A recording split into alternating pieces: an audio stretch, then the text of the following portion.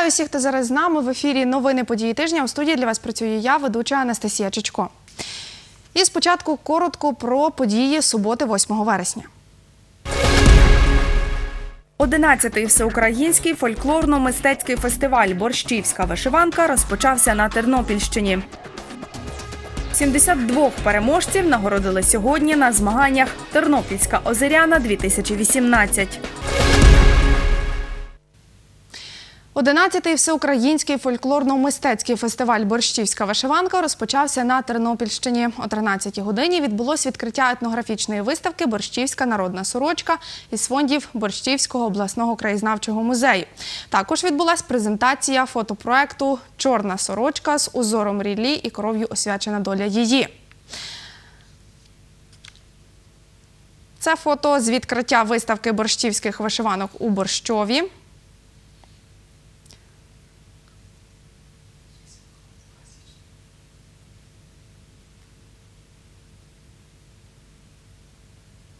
Тут учасники театру Слово районного будинку культури читають вірші.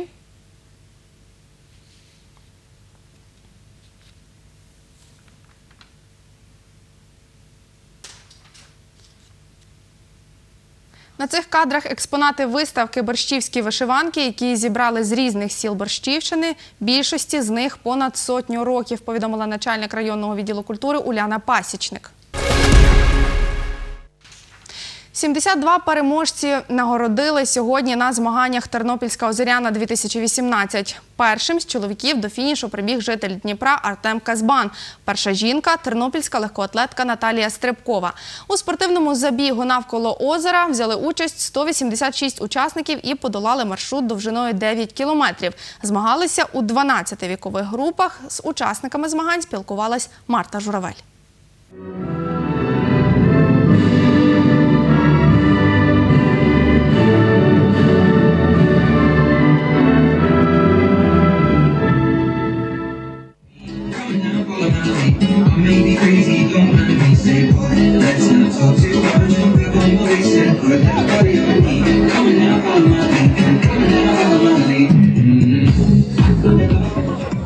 73-річний Ігор Лисий зі Львова на Озеряну до Тернополя приїжджає щороку. Я е, привик їздити на змагання, і мені подобається та атмосфера, яка панує на змаганнях. І цікаво зустрітися з, з друзями. Для мене не є багато, бо я так, е, як є можливість, то я кожен день пробігаю по 10, не менше 10 кілометрів. І тому яка 9 кілометрів для мене не є. Розраховую гарно пробігти, е, навчився не хвилюватись. Це од- один з тих чинників, які треба враховувати. І коли ти спокійний, краще біжиться. Думаю, вкладусь 35 хвилин. Сподіваюсь, думаю, буду старати швидко, принаймні, але з іншої сторони треба ще берегти сили, бо ще завтра в Луцьку буду бігти теж 10 кілометрів. Три, два, один.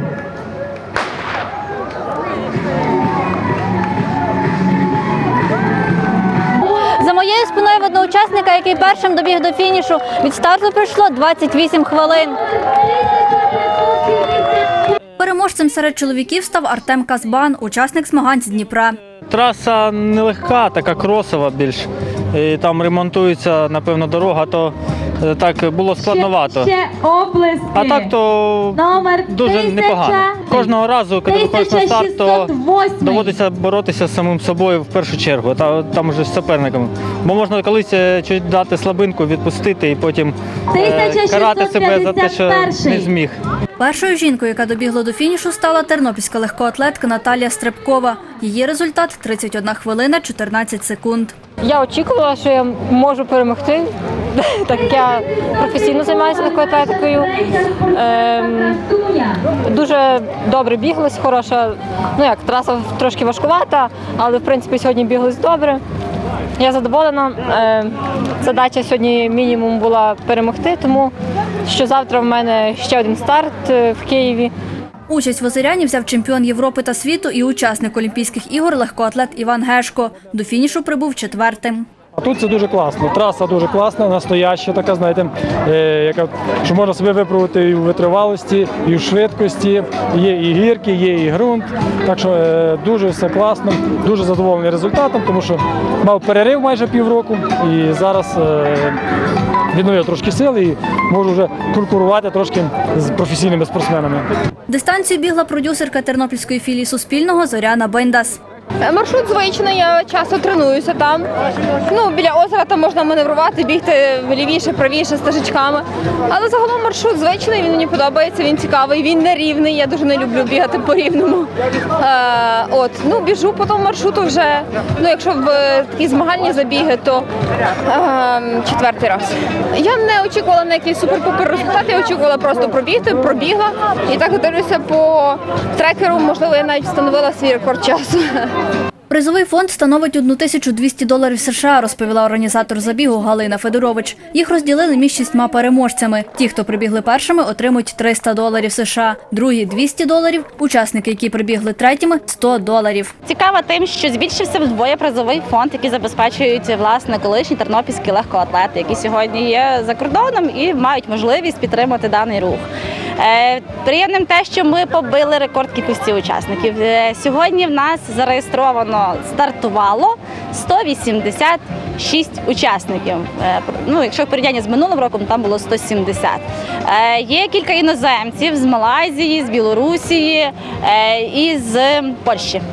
Марта Журавель, Андрій Прокопів. Новини. Ми продовжуємо випуск, аналізуємо події тижня, що минає, і далі дивіться про таке. Вчора жителі села Озерна Зборівського району на півтори години перекрили трасу державного значення Тернопіль-Львів. П'ятницю у ДТП біля Зборова загинуло двоє людей. Учні 10 класів області не забезпечені підручниками. Учні 5 класів забезпечені книжками на 90%. Середу в Україні вшанували соту річницю з дня, коли радянський уряд ухвалив декрет про червоний терор. З 9 години до 10.30 жителі Озерної перекривали дорогу у центрі села. Це траса державного значення Тернопіль-Львів. За словами сільського голови Богдана Наконечного, участь в акції взяли дві сотні жителів Озерної. Їх вимоги були адресовані службі автомобільних доріг, стосувалися облаштування пішохідного переходу на трасі у центральній частині села.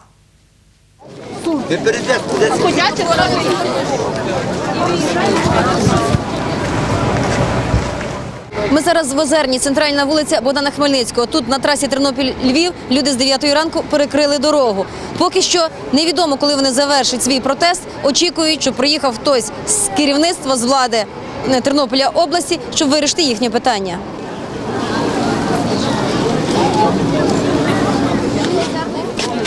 Як вас звати? Наші вимоги такі, щоб зробили нормальні тротуари, щоб зробили освітлення по селі. Ну бо стаються аварії, машини не бачать. Ну світлофор, щоб якось ще упорядкували його. Стаються аварії. Люди, ну діти маленькі переходять дорогу, е, машини їдуть, не, не зупиняються.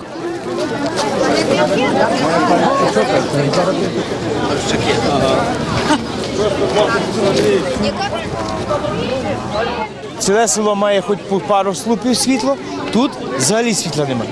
Ну, центральна траса, ну я не доганяю таке. І діти ходять до школи, і то, і все. Нічого не тиво.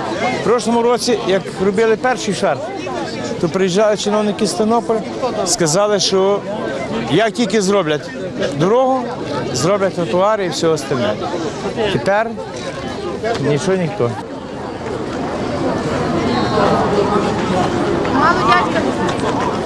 Школи немає як перейти, світофорів, автобус. На 200 тисяч немає, мені треба закласти рішенням сесії такі гроші закласти. Треба їх мати. Я не, я не можу, я не маю за що, я не можу зробити. Основні вимоги, ті, які були висловлені, виставлені ще в лютому місяці е, по світлофору, е, бар'єрках, е, освітлені вулиці, тротуарах, де був перший заступник служби автомобільних доріг, обіцяв, що це все буде зроблено. На сьогоднішній день люди вийшли, тому що ніяких дій з, боку служби автомобільних доріг немає. Нема бар'єрки, нема освітлення, нема світлофора, школа рядом. Село розділено на дві частини. Люди переходять е, дорогу е, кожних 5 хвилин. Інтенсивний рух. Люди наражають себе на безпеку, тим більше діти. В зв'язку з тим, що кошти, скажімо, не надійшли в такій мірі, як, як нам, е, скажімо, потрібно було. І тому ми зробили основні роботи. Ми їм пообіцяли зранку. Зробимо червоний пластиковий перехід з шумовими полосами, поміняємо ту пародію, знімемо світлофор, поставимо нормальний світлофор, який повинен відповідати гостам. Значить, зробимо заїзні карманчики, піднімемо цю сторону ліву, де зупинка біля школи, піднімемо бордюри, заасфальтуємо, зробимо нормальний пішохідний перехід і здоб'ємо бар'єрне огородження, щоб не зупинялися великовантажні автомобілі, які загороджають пішоходам е, рухатися через пішохідний перехід. Ну ніхто на наші, скажімо, умови не пристав і вони вимагають все і зразу. Світлана Шумна, Василь Панчук. Новини.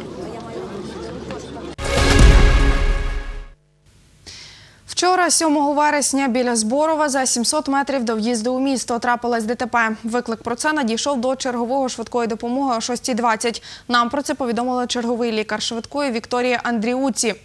Зіткнулось два автомобілі марки Volkswagen Golf та Mitsubishi. Двоє осіб, водій і пасажир Volkswagen, загинули, повідомляє патрульна поліцейська Галина Синюк.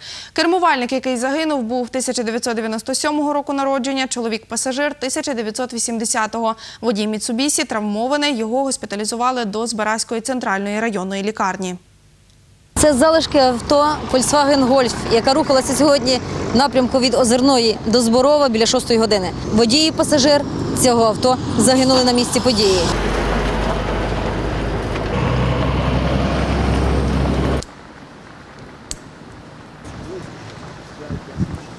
Ми отримали виклик про те, що на автодорозі М09 28 кілометр сталося ДТП з потепер- Приїхавши на місце події, виявлено ДТП за участю двох транспортних засобів, а саме Mitsubishi Outlander та Volkswagen Golf на- іноземній реєстрації.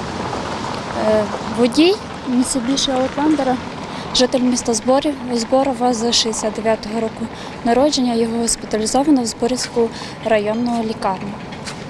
Е, Пасажири, ну, водій та пасажир транспортного засобу Volkswagen Гольфа загинули на місці. Син травмованого водія Станіслав Оленин розповів, що батько вдосвіта вирушив до Києва. Виїхав зі Зборова і трасою не проїхав і одного кілометра, як сталося ДТП. Зі слів батька Станіслав розповідає про аварію. Вони їхали в напрямку Києва, а гольф, який був на іноземній реєстрації, їхав зі сторони Тернополя. І він їхав на великій швидкості, його кидало по всій дорозі. І він не міг зманеврувати і врізався в лоб, ну, в лоб в лоб е, в Mitsubishi Outlander. Сталася аварія зразу е, перший слід, ну, що їхав е, спереду тата, зупинився, витягнув тата з машини, подзвонив зразу швидку, поліцію і все, а тато в той час подзвонив до мами і сказав, що він потрапив в ДТП. На цій ділянці дороги проводять ремонт асфальтопокриття, тому встановлені знаки, які обмежують швидкість руху авто до 40 км за годину. Зараз провели огляд місця події, зафіксували всю слідову інформацію. Після того зараз розпочати кримінальне провадження за фактом дорожньо-транспортної пригоди. В рамках кримінального провадження будуть призначені всі відповідні криміналістичні експертизи, які вже дадуть можливість встановити, хто винен. Вербовський Михайло повідомив, що загиблих чоловіків ідентифікували. Це жителі Зборова. Травмований водій Міцубіші також зборівчанин. Щоб дізнатися, у якому він стані, ми відвідали Зборівську лікарню. Від коментарів чоловік відмовився. Ми поспілкувалися з його лікарем Зиновієм Парацієм. На, в даний час стан потерпілого середньої важкості, стабільний. Попередній діагноз в нього закрита черепно-мозова травма, струс головного мозку, забій е, гумілки і лівої гумілки і лівої верхньої кінцівки. і забій на ранах голови великих розмірів. Добре. Світлана Шумна, Василь Панчук. Новини. Учні 10 класів області не забезпечені підручниками. Їх привезуть у кінці жовтня на початку листопада. Учні 5 класів забезпечені підручниками на 90%, повідомила начальник управління освіти і науки області Ольга Хома. Як навчаються п'ятикласники і десятикласники без необхідних паперових книжок, дізнавалась наша знімальна група, відвідавши Тернопільську спеціалізовану школу номер 3 Ми зараз знаходимося в загальноосвітній школі номер 3 10 А клас, підгрупа на інформатиці. Цей клас йде за новою програмою від 5 Зараз паперових варіантів підручників не надійшло жодного. Учні 10 А використовують шкільні комп'ютери і свої гаджети для завантаження підручників в електронному форматі. 10 з 15 цієї підгрупи очікують на паперовий підручник. Можу сказати, що з паперовими книжками все ж таки зручніше працювати, адже з інтернету можуть бути різні похибки. Також не завжди відкриваються сторінки і довго грузить. Це дуже тяжко, адже дуже втомлюються швидко очі. А в мене є проблеми з зором, тому мені здається, що це великий недолік. Мені здається, що краще паперові книжки, ніж електронний варіант. Десятикласниця Ірина Бобровська кілька років поспіль користується винятково електронними шкільними книжками. Ми відкрили сторінку з електронною книжкою і вже готові до навчання. Як на мене, електронний варіант набагато зручніший в використанні. Я вже близько трьох чи чотирьох років користуюся лише електронним варіантом, адже не потрібно носити з собою 8, по 7 по 8 підручників. Поки не надійшов підручник з інформатики, розказує учителька цього предмета Надія Величенко, на уроках застосовують лекційно-конспектний спосіб навчання. На початку важко, тому що потрібно дітям начитати е, матеріал, їм треба дещо законспектувати, а вдома вони можуть повторити або з електронної книжки, або з конспекту того, що вони записали. Ну, є деякі незручності, але діти працюють в сучасному суспільстві і їм не привикати працювати з технікою. Це 10 В клас, підгрупа на уроці української мови. балакучі, які можуть говорити. І ваше завдання зробити тест від першого завдання по 24. Виходимо з ситуації е, двома способами. Перше, використовуємо посібники, які викону- е, які готують дітей до зовнішнього незалежного оцінювання, оскільки програма в 10 класі передбачає повторення навчального матеріалу. Вони до цього вже звикли з 9 класу. А інший варіант це електронні версії підручників, за якими вони працюють вдома. Домашнє завдання склади. Поділ на склади. Ми говорили про відкриті і закриті склади. Я використовую свій планшет для того, щоб е, скачати книжку, яких на даний момент в нас немає. Це дуже комфортно, тому що ти можеш знайти будь-яку інформацію, і це дуже легко, адже е, параграфи розподілені комфортніше, і іноді ти можеш просто ввести якесь слово і знайти одразу його у самому підручнику. Мене звати Вікторіна, вже всі гарних оцінок. На уроці трудового навчання п'ятикласниці знайомляться зі своєю учителькою. Підручника з трудового навчання поки що у школі немає. Але в нас є старі підручники, які деякі теми підходять, і ми можемо ними користуватись. Є роздатковий матеріал, тому дівчатка сумувати не будуть. П'ятикласниця Вероніка Бутова користується електронними підручниками. Мені все зручно, тому що я не, я не, я не можу таскати в великі тяжкі портфелі, бо тому що в мене чуть є проблеми з спиною. Шкільна бібліотекарка Світлана Стасишин підрахувала, що до школи надійшло 722 підручники для 5 класу з семи предметів: українська мова та література, математика, основи здоров'я, природознавство, німецька та французька мови. Нема з інформатики, світової літератури, історії, трудового, музики та підручника з образотворчого мистецтва. Світлана Шумна, Василь Панчук. Новини.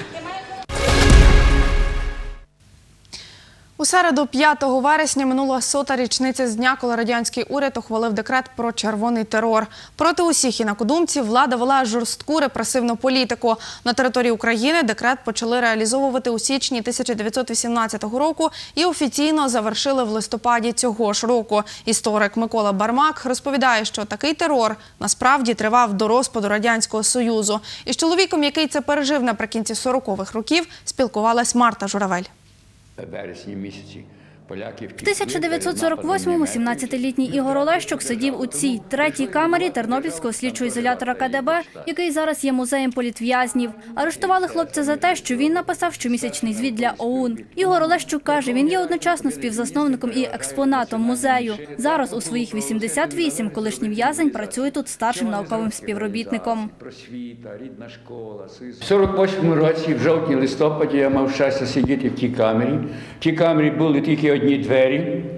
Не було цієї перегородки цих дверей, і тут на бетоні спали 20, е, 60 в'язнів. Стояла параша, те саме, розумієте?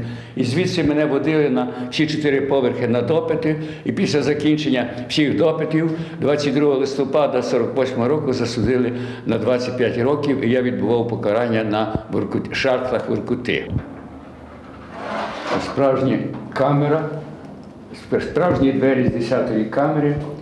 Е, Тетяна Леочко, 92 роки, і моя фотографія з Служби безпеки України, 17-літній пострижений. 300. І ми спорудили ще в 89-му році братську У музеї Ігор Олещук показує нам стенди. На них інформація про великий терор періоду 1937-38 років. Музею. Моя 180 тисяч було арештовано на Україні за цих два роки.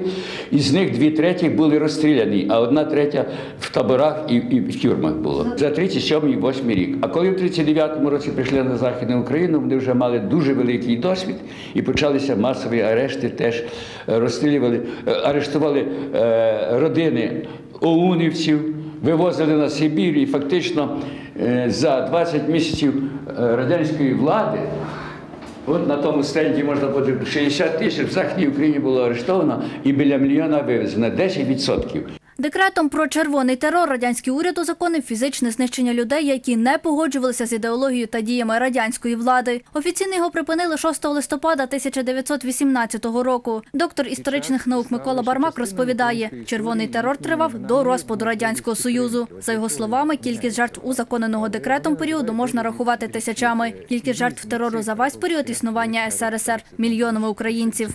Це дуже страшна політика, яка передбачала фізичне знищення всіх тих людей, хто не був згоден з тою владою. І я рахую, що червоний терор закінчився саме із закінченням радянської влади, тому що на всіх етапах е, червоний терор в тій чи іншій формі, як форма залякування фізичного знищення і накодумства, цей червоний терор проводився. Він проводився в іншій формі в 20-х роках, в 30-х роках. Ну і далі він е, проводився з з різною кількістю жертв, але політику червоного терору залякування е, місцевого населення цю політику завжди проводили.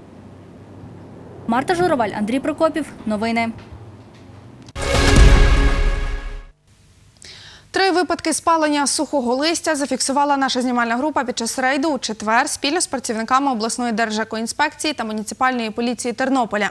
Перевірку проводили в обласному центрі та околицях. Доктор біологічних наук Василь Грубінко розповів, що дим, який виділяється під час горіння сухого листя, має негативні наслідки для людей, тварин та екосистеми. За такі дії без відповідного дозволу передбачена адміністративна відповідальність, каже екоінспектор Михайло Онищук.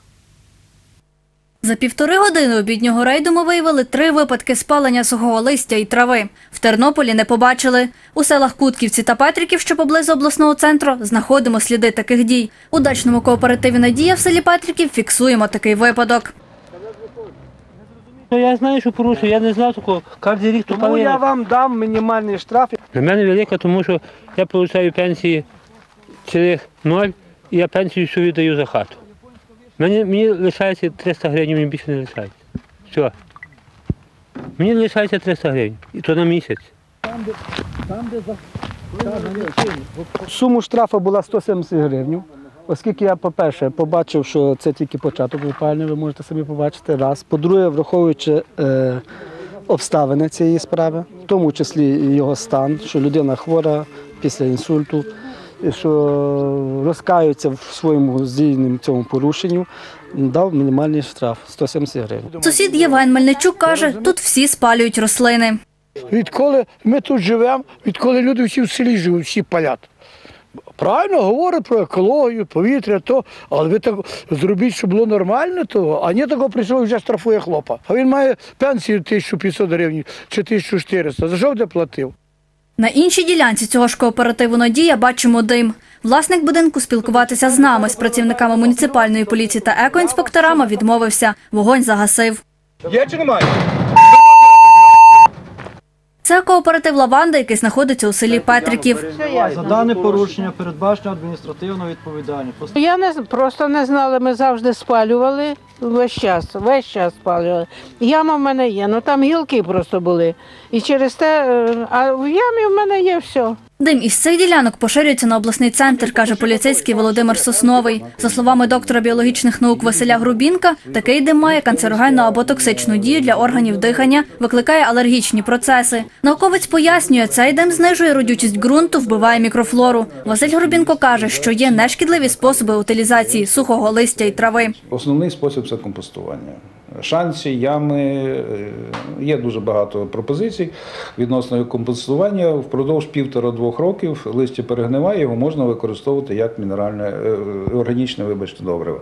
Ем, е, Так само е, можна залишити це листя, перегнивати під деревами, наприклад, в саду. Забруднене органічними живими істотами, патогенними організмами чи е, якимись хімічними речовинами підлягає тільки вивозу на і утилізації на сміттєзвалище. Е, Це досить дорога справа, але разом з тим е, це варто і треба робити. За спалення сухої рослинності передбачена адміністративна відповідальність. Правопорушники мають сплатити штраф від 170 до 510 гривень. Марта Жураваль, Андрій Прокопів. Новини. Учасники велопробігу Чумацький шлях, серед яких є тернополянин, сьогодні повернулись до України. 7 вересня вони були на святкуванні Дня Незалежності України у Вашингтоні в Американському інституті миру. Там зустрілися з українським послом США Валерієм Чалем. Як це було у сюжеті Богдана Буденчука? Це американський інститут миру. У ньому відбувається святкування Дня Незалежності України. Ми прийшли сюди в інститут е, миру. Нас запросило наше е, українське посольство тут в Вашингтоні на святкування Дня Незалежності України. Під час святкування відбулася виставка велосипедів учасників велопробігу. Тут знаходяться наші велосипеди. І є Белфаст, на якому я проїхала пів Америки та Канади. Це був сильний вітер, це був дощ, злива дуже сильна, але це було дуже круто і я це запам'ятаю на все своє життя. На цій виставці учасники чумацького шляху також репрезентували оригінал українського велосипеду Еней, розробленого у 1994 році. За словами Сергія Коновала, на цьому велосипеді на першості світу у Франції у 1996 році українці виграли золото. Гімн України виконує заслужена артистка України Людмила Фесенко.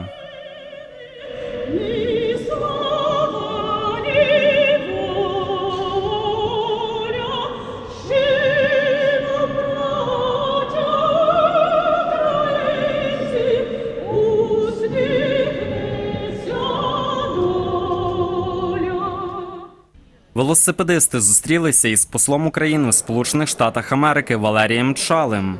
Думаю, що це дуже символічно, тому що це не тільки ознайомлення з тим, що Україна зараз захищає не тільки себе, але всю Європу від атаки Росії. І я е, вдячний тому, що ви під час своєї е, такого великого мандрівки Америкою говорили про реальну ситуацію, хто агресор, як це відбувалося. Але дуже важливо показати потенціал України.